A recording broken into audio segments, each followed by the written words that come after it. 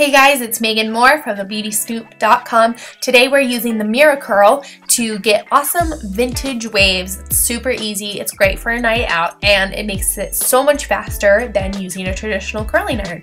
So to get started, go ahead and brush your hair out. This hair has been washed the day before, um, and this boar bristle brush is great for vintage looks because it's really good at making things shiny and smooth. We're going to start with a deep side part over one eye, and that's really key to achieving a vintage look. You want that hair to drop over the forehead. And then we're going to start working from the bottom up and you want to roll the same direction as the side of the head that you're on. So if you're on your left side of your head, you want to switch your Miracurl settings so that everything is rolling to the left. So we'll work one side at a time. That way we don't have to keep switching our settings back and forth. On this lower piece for me, my hair is more resistant just because it's healthy. And so I use a little alligator clip to hold it while it cools, but other than that, it's not necessary. So we'll part it off.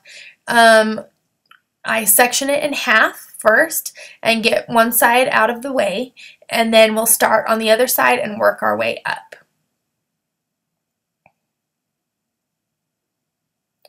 You're going to start by taking horizontal sections. Now this is really key to get this vintage look so that everything blends into a nice wave. So take a long horizontal section from your face back towards the back of your head and clip everything out of the way that's above the parting. Then you're going to use your Miracurl and you want to direct every single piece forward towards your face. So you can see here, I pull it forward towards my cheekbone and I'm going to put the Miracurl in at cheekbone level and let it draw the hair in.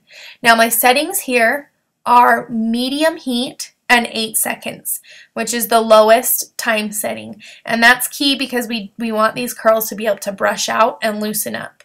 If you want your curls to stay tighter, you want to up the time that it's in there, not necessarily the heat. So direct every piece forward. On these lower levels, I'm directing it towards my cheekbone, and as I work higher, I'll direct it towards the corner of my eye. Make sure that you let every curl set before you brush or pull or tug on them. So really just let it cool and leave it alone. And you can see it's a pretty tight spiral at first, but because it's only been in there for eight seconds, it's not going to stay that way when we brush. So as I'm working up higher, remember you need to work in small sections for the Miracurl, otherwise it's not going to draw in.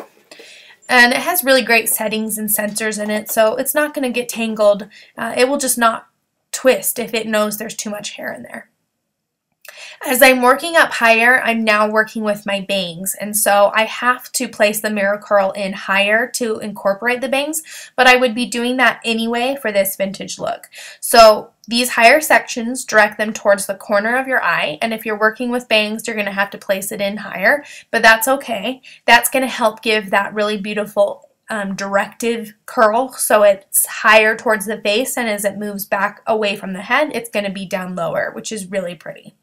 So here I am just continuing to work with these top sections. You can see that I bring every piece forward towards the corner of my eye and that's going to give that really beautiful movement right by your face.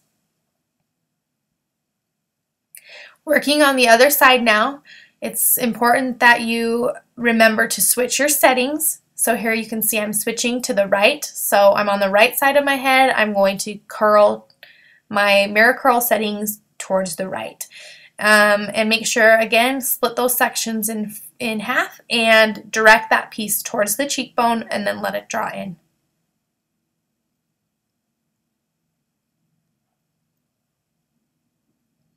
Remember that the Miracurl beeps a lot. It's going to tell you what's going on.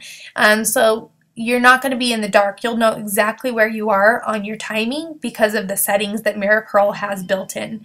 So that makes it really easy to do. So here I am on this last section um, on this side. Bring it forward right towards the cheekbone to get that really nice pop of curl right by the face and then make sure you let everything cool. Finally, you're going to brush out the curls. Now, Um, a boar bristle comb or brush is really great for this. A regular comb will work as well. You can see that I'm lifting it up off the scalp just to get a little bit more volume there. And you can really brush it pretty aggressively. We want it to loosen up quite a bit and you want to form those curls into a really nice S-shape pattern, specifically right around your eye. So with me, since I have bangs and I'm working with that S curl, I use little alligator clips to help form that curl as it cools. So I'll put in the first clip going backwards and then the second clip I will push and it's going to go in forwards to really create that S wave. And then as the hair cools, it's going to help take that pattern right around my eye. And just throw a little hairspray in there too just to give it a little bit of help. This is the Big Sexy Hairspray, which is great for vintage looks because it has quite a bit of hold, uh, but it also brushes out really well. So give it a little spray as you continue to shape those curls, work them together. This next product is one of my favorites. As you can tell, I'm excited there. This is brand new from Pureology. It's their dry conditioner. So this is designed to go in the bottom and the ends of your hair, not the roots like dry shampoo. It refreshes and smooths and really like tones the hair back down so it can be shaped again, especially on those days that you don't wash. But for these vintage looks, it's so great because it gives a ton of shine and really helps you kind of get that beautiful finish that the vintage looks are famous for. So comb that through. Then once those uh, front pieces are, are cooled, you can brush them out and again really form that S pattern right around your eye. Um, that's key for getting this vintage look. It's really quick and easy. This took me less than 10 minutes, which is so much faster than wrapping it around a curling iron. So that's why I'm really excited about the Miracurl because it is, you get really great results and you really don't have to be an expert with hair at all. So finish off with a little bit of hairspray and you've got a beautiful vintage look using the Babyliss Miracurl. I hope you guys liked this tutorial. I hope it helped you discover a new way to use your Miracurl and please come over and visit me at thebeautysnoop.com for more tips, tricks, tutorials, and product reviews. Thanks guys!